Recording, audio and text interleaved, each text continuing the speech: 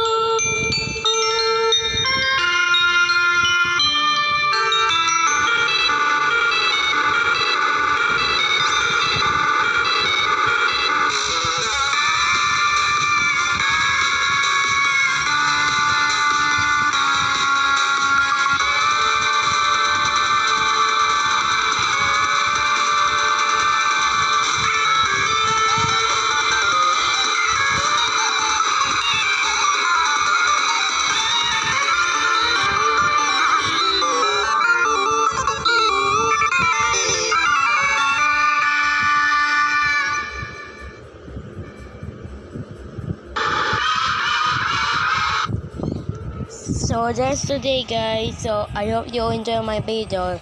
See you in the next time. Peace